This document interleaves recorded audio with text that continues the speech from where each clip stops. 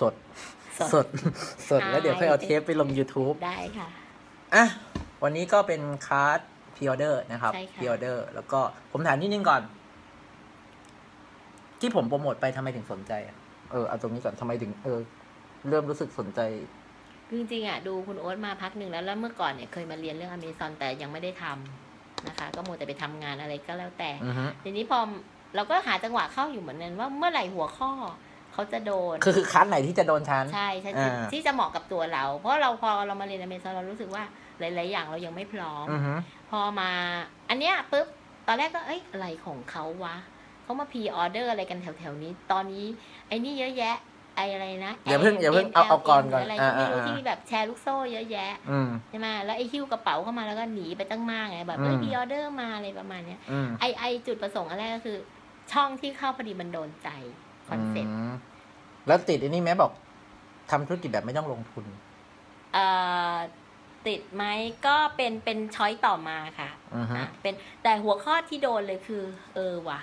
ไม่มีใครยังไม่มีใครทำเลยไอ้เนี่ย โอเคลักษณะเนี้ยแล้วก็ โอเคเออไม่แต่คำว่าพ r ออเดอร์มีคนสอนนะ มีคนสอนเหรอมีคะ มีแต่ว่าพ r ออเดอร์ส่แบวนบตัวไม่ต้องยังลไม่งทุนไม่มี อ่าไม่เพราะ มีพ r ออเดอร์ก็ต้องลงทุน อ๋อค่ะ อ่า ก็คือก็คือ พอดีช่องเนี้ยเข้าแล้วโดนมากโอเค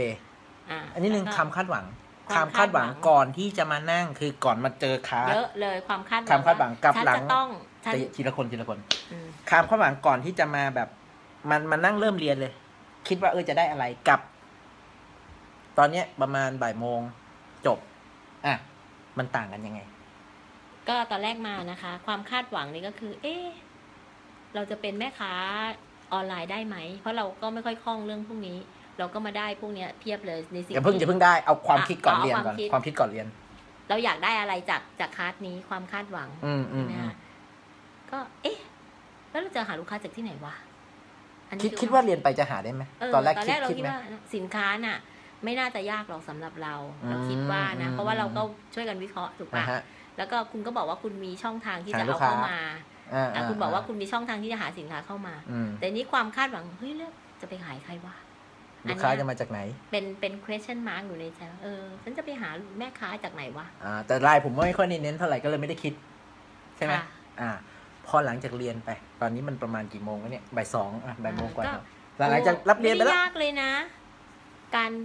หาลูกค้าเป็นหาไงหาหาหาลูกค้าของเราครับ ที่เป็นที่เป็นที่จะมาซื้อต่อจากเราเป็นอือฮึลักษณะกลุ่ม คือ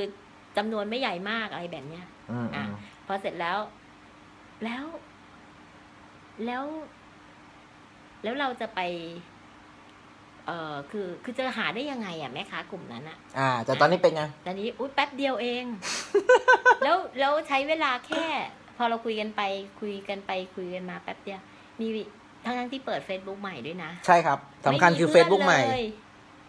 แป๊บเดียวเขาตอบรับจะเรายี่สิบคนละเออเนี่ยตอนนี้กี่คนแล้วล่ะ ไม่รู้ 21แต่ว่าขอไปจะสองร้อยคนละ อ่าครึ่งครึ่งทางยี่สิบเกือบเอ็ดเกือบละหมดละ นี่ก็ใช้เวลาแค่ประมาณสองชั่วโมงนิดๆเองเนาะ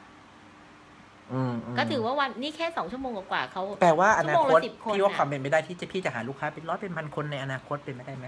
ได้ค่ะ คืออย่างน้อยเราเราเรามุ่งไปตรงจุดละ เรา present ไปว่าเราคือใคร เราทำอะไรอยู่ อีกอีกอันหนึ่งที่ผมไม่ได้ค่อยพูด แต่ว่ามันจะสัมผัสได้เลยอีกเรื่องหนึ่งก็คือว่า แล้วก็ไม่ได้คาดหวังด้วยคือ มันเอาไปต่อยอดกับธุรกิจคุณได้ไหม ก็ก็คืออย่างนี้นะคะ อันแรกเลยพ r ออเดอร์ตรงๆ อันเนี้ยได้แน่นอนอยู่อืแล้วอันที่สองงานที่เราทำประจำอยู่เนี่ย เราสามารถที่จะเอาไปประยุกต์ใช้กับงานตรงนั้นได้อีกคือหาลูกนเอาที่สมโอ้เขาหาลูกค้าก่อน หาลูกค้านี่ไปต่อยอดกับธุรกิจที่เราทำอยู่ได้ปะได้คิดว่าน่าจะได้ลูกค้าเพิ่มเป็นไปได้ไหมได้แน่นอนแล้วตรงเป้าหรืออ้อมหรือแบบวานหรือตรงเป้า ก็ได้ทุกช่องทางหมายหมายถึงว่าตรงเป้าแบบว่าถ้าเราถ้าเราอยากขายของคนแก่อย่างเงี้ยถ้าเราอยากขายของคนแก่เนี่ยเราเราหาคนแก่มาสนใจได้ไหมได้ กลุ่มเป้าหมายถ้าเราต้องบอกว่าอายุสักห้าสิบขึ้นไปที่มีปัญหาสุขภาพเราก็หาได้ หาได้ นั่นแหละประเด็น ตรงเป้าตรงประอ่าเด็นตโอรงเค จุด ส่วนเรื่องสินค้านี่ก็ผมเปิดตัวเดียวเพราะตัวนี้ผมกำลังรอราคาละจะเอามาแล้ว อยากขายก็ คิดว่าขายได้ไหมโอ้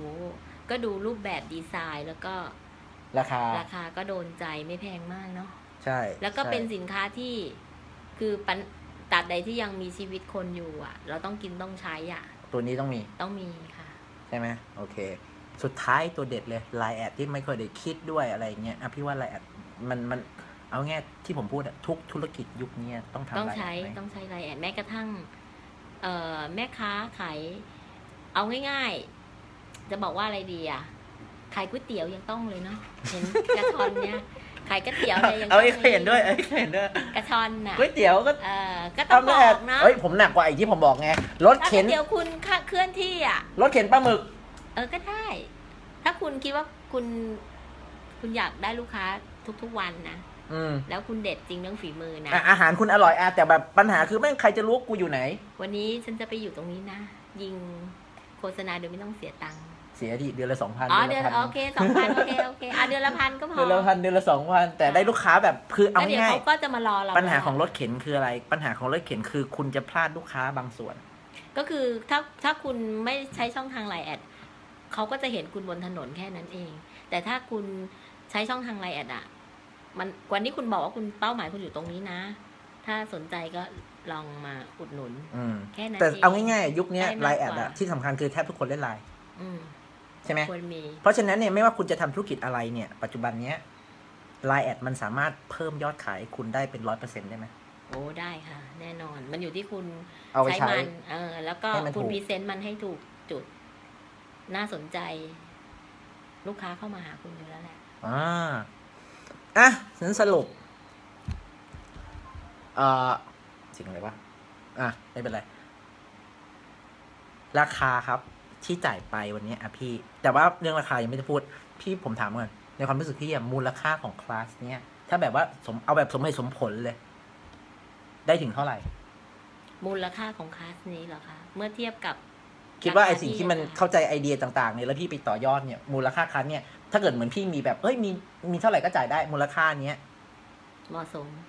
เหมาะสม ได้มากกว่า แพงกว่านี้ยังได้ไหมแพงกว่านี้ได้ค่ะ มันอยู่ที่ตัวตัวของผู้เข้ามาฟัง ใช่ แต่บางมันคือมันแล้วคุ้คุมณค่าเอาเอาคุณคุณมีต้นทุนเท่านี้ใช่ไหมคะ อืม คุณเอาตรงเนี้ย ความรู้ที่ได้วันเนี้ยไปต่อยอด คุณจะได้มัน มูลค่าตรงนั้นมากมายมากกว่าตรงนี้ มากมากกว่าที่คุณเสียวันนี้อีกใช่ไหมวันนี้คือวันของสนุกสนานหาลูกค้า อืมวิเคราะห์สินค้า แล้วก็ทำการตลาดให้ลูกค้าซื้อซ้ำแล้วก็ได้ช่องทางทำมาหากินใหม่ เพียบๆค่ะ นะฮะก็แล้วก็เอาไปต่อยอดได้อีกใช่ไหมที่พี่ว่าบอกไงวันนี้เรามาได้นอกจากพิออเดอร์แล้ว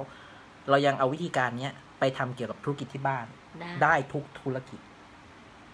เดี๋ยวต้องมาซ้ำเรื่องโปรแกรมยังยังงงๆอยู่โอเค ก็ขอบคุณมาเรียนมาเรียน สวัสดีครับค่ะ